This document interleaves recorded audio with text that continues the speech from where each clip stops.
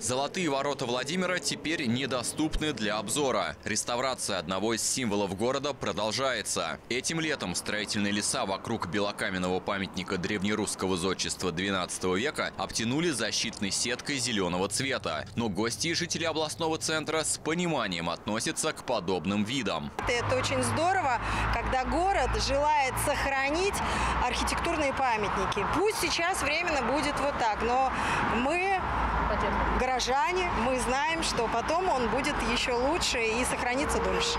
То, что закрытый, но это же временно. Потом будет все хорошо. Но реставрация нужна. Конечно. Ну, конечно, уже давно. Вид как не портит? Ну, сейчас да. Сейчас портит. Как думаете, оправдано? Да.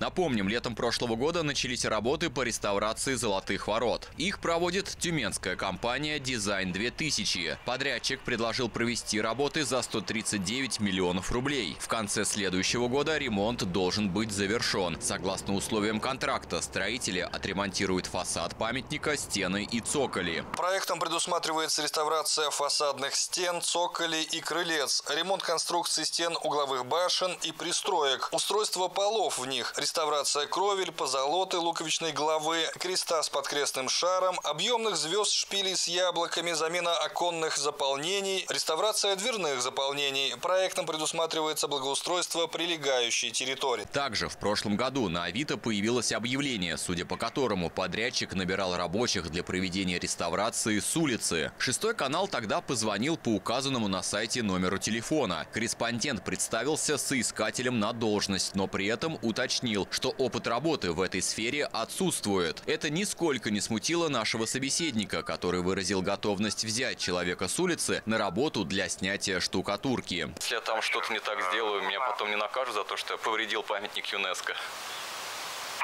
Не, ну вы же ведь, и, ну, человек взрослый, не, ну, не будете же делать, э, там, я не знаю, кувалды его. Специальный маленький молоточек.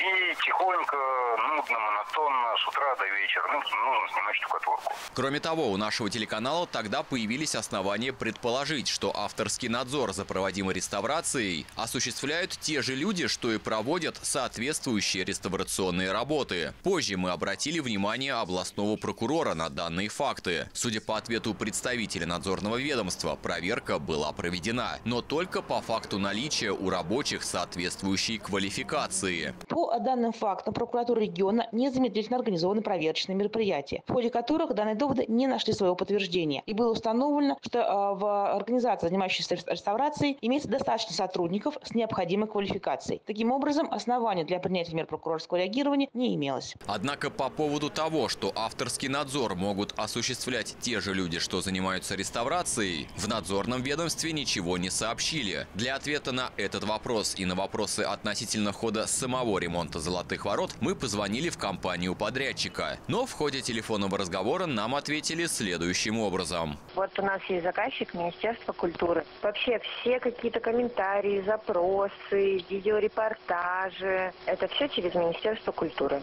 Получается, что подрядчик не горит желанием общаться с журналистами по поводу реставрационных работ одного из важнейших исторических памятников архитектуры Владимира. Более того, ранее мы неоднократно писали обращение Федеральное министерство культуры, но ответов так и не последовало. В этот раз мы направили официальное письмо в региональный Минкультуры для получения информации относительно проводимых работ и продолжим следить за ходом реставрации. Алексей Домнин, Егор Никитюк, 6 канал.